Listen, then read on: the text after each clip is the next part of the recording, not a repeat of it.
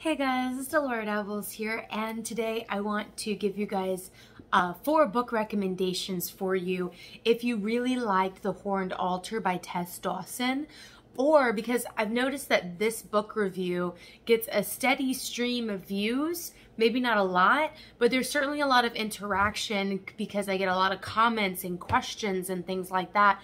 And I figure, you know, that area of ancient Mesopotamia, the Sumerians, the Babylonians, um, the Akkadians, the Canaanites, all those people all lived in the Fertile Crescent, different time periods, right? Time periods are very important uh, to understand whenever you're um, talking about uh, ancient Mesopotamia. So I really, really like this book here. It's a book of myths and legends from Mesopotamia. I like how it says from Mesopotamia. Uh, you'll see some of my other books, they'll be like, oh, Canaanites or oh, Chaldeans or oh, Babylonians, Akkadians, whatever. Whereas this is just like they all come from the same mother culture. We talk about this in um, my anthropology classes, especially talking about Mesoamerica, right? A lot of Mesoamerican um, bleh, cultures, they share the same mother culture there, right? So like the Aztecs were probably the most different because they moved in from elsewhere. They they marched down from the north, right? But Oaxaca, all those other places, uh, Teotihuacan, all those little places, they all have the same mother culture, right? So it's kind of like that in the Fertile Crescent as well. In fact, if you really want to get into it, there is a fertile valley in Mesoamerica, and the way that they kind of built up is very similar to the way the Fertile Crescent built up. So if you're really interested in how societies and civilizations form, you might want to research this and then turn around and research Mesoamerica because it's fascinating the parallels you find. Anyway, um, to get back to the subject, this has a timeline in it um, so that you can actually refer to it when you're reading. There's a chronological chart. I'm going to show you guys this chart because I think it is just fantastic to let you know kind of what's going on, right? Um,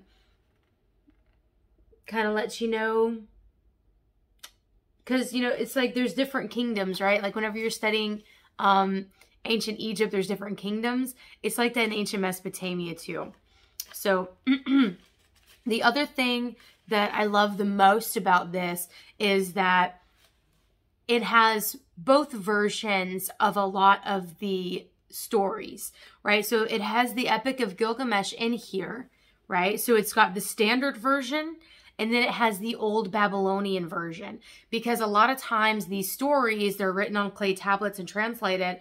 You'll find the same story at two different sites and the stories vary a little bit. Sometimes they vary a lot. Sometimes they only vary a little bit. Um, so there's a couple of other things like the stories of Nergal and Ereshkigal. There's a standard version and then an Amarna version right? Because the tablets found in Amarna were different. Uh, the story of Anzu also has a standard version and an old Babylonian version, right? So, and this is just very, very well written, right? And it's the way that it's uh, pieced together is a little bit easier to understand and follow. The next one, this is also a book on mythology. We're going to get into other magic books in a minute because I've got two other magic books and then two mythology books. This one is fantastic. Anything by Leonard William King is going to be great. Leonard William King lived from 1869 to 1919. So this is like, you know, OG anthropology, if you will. Uh, so there are some things in here that aren't always accurate but what I like about this guy is even though it's from 1919, he'll tell you like, you know, this is what we believe is going on, but we don't have all the pieces to the puzzle. And for him to admit that in 1919 and for me to read it now and be like, yeah, no, you didn't, did you? Um, is kind of nice. It's, it's kind of nice. It's very humble, very humble person. Um, but yeah, his work I love so much simply because of the way that he writes. It's very accessible for something that was written in 1919. Um, I'll just read a sentence here. Although little by little a higher idea of the majesty of certain gods was developed, and although the Babylonians' conception of a man's duty towards them and towards his neighbor eventually became of a comparatively high moral character, he never succeeded in freeing himself from a belief in the power of magic, sorcery, and witchcraft. I like that. Uh, I like the way that that is written. It gives me an idea of how this person um, feels about magic and witchcraft, right? Um, but at the same time, this guy is very, very good um, at uh, what he knows. And the way that he talks about it, let's see, it is probable. He's talking about how Okay. Who occupied the country before the Sumerians came, we cannot say. For the aboriginal inhabitants of the land, we know nothing. He's talking about that area of Mesopotamia, the Fertile Crescent.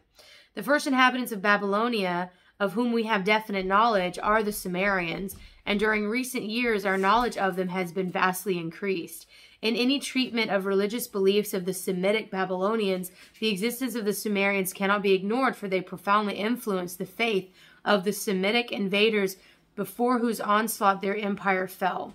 The religious beliefs of the Babylonians cannot be rightly understood unless at the outset this foreign influence is duly recognized. Gives credit where credit's due. I like the way his book is organized. Um, it's got six chapters, which are fairly easy for me to read off for you. The Gods of Babylon, Heaven, Earth, and Hell, The Legends of Creation, uh, chapter 4, The Story of the Deluge. Chapter 5, Tales of Gods and Heroes. Chapter 6, The Duty of Man to his God and to his neighbor. These next two actually deal with their magical heritage and sorcery, right? Uh, this one is also by Leonard William King, and it's simply called Babylonian Magic and Sorcery. Um, the prayers of the lifting of the hand. And what this is, is that it'll tell you right here too. This book is just a translation of the cuneiform text of a group of Babylonian and Assyrian incantations and magical formula edited with transliterations, translations, and full vocabulary from tablets of the Kuyunjik collections preserved in the British Museum. So you'll see that even in the back, there's a list of tablets in the back. There's also in the appendices, uh, you have list, you have all kinds of list, um, portions of words and ideographs of uncertain reading. So things that he knows that he may not have translated all the way correctly because there were portions missing. Boom, there's more information there in Appendix 3. Um, and then there's the indexes, index to tablets and duplicates, and index to registration numbers. So if you wanted to look at those tablets yourself, if you wanted to either visit the British Museum or if that's where they're still housed today, um, if you want to visit them or if you want to Google them, you can find all of that information in the indexes so that you can cross-reference his translations with your own if you are also a scholar. I love books like that. Um, anyway, this is actually a pretty good little book of translations. And again, he divvies them up into very interesting categories that I feel like a modern scholar wouldn't have broken them up into these categories. They would have made it more complicated. And he broke them up into uh, much more simple categories. So the first section is prayers to groups of deities, right? So you're not just calling on one deity, you're calling on a group of them. Section two is going to be prayers addressed to specific gods. And you'll know which gods they are because it's in the title of each prayer. Uh, section three is prayers addressed to goddesses. Again, the exact goddess's name will be in the title. uh, prayers to deities whose names are not preserved. And there's one. there's one prayer there. They have their own section devoted to the tablet who they don't know who they're praying to. Um, prayers to astral deities. So um, to get you an idea of what it is, uh, prayers to the star Mulmil, prayer to the star Coxidi, and then there is a Sibziana. I don't know if that's a star or constellation or whatnot. I haven't made it that far into this book. These are recommendations, not reviews. So I haven't read all of these. These are some big old honking books. Uh, and then the last section is prayers against the evils attending an eclipse of the moon. So just from that chapter title, we know that the Babylonians were very concerned with lunar eclipses unleashing evil. Cute, huh? Pretty cool. And then the last one we have here is Chaldean Magic um, by Francois Lenormant. Lenormant. And this one, this one is a pretty big honking book too. He covers a lot of ground because there's a part one and a part two of this. And this guy lived from 1837 to 1883. So around the same time period as Leonard uh, William King did. So it's a bit older, but I love, I love this one. This one is fantastic, absolutely fantastic. Because this guy was an anthropologist, kind of. They weren't really calling themselves that right now uh, at this point in history, but uh, he was definitely obsessed with magic, absolutely obsessed with magic. And that totally comes out here. And I'm going to show you guys the different chapters so that you can pause the book and read them off yourself. Pause the book. So you can pause the video and read them off yourself because he covers he covers a lot of stuff. And I'm sorry, my my Fred baby, my my my cat is going crazy right now, so yep. Okay, cool. So if you pause those and read all of those, you'll definitely see um, the first parts, the first few chapters are all about the Chaldeans, right? And we all know the Chaldeans, we're still talking about the same mother culture when we're talking about the Chaldeans and the Canaanites, and the Babylonians and all that, the Sumerians, all the stuff. We're still talking about generally the same mother culture here. So everything you read in this book can totally be applied to your Canaanite practice and Babylonian and Sumerian practices, right? Um, anyway. He talks about, I like how he does a comparison of Egyptian and Chaldean magic. And then he has a chapter where uh, he compares Indian and Chaldean magic systems. Um, uh, differences between Akkadian and Egyptian magic, uh, Chaldeo-Babylonian religion and doctrines, developments of Chaldean mythology.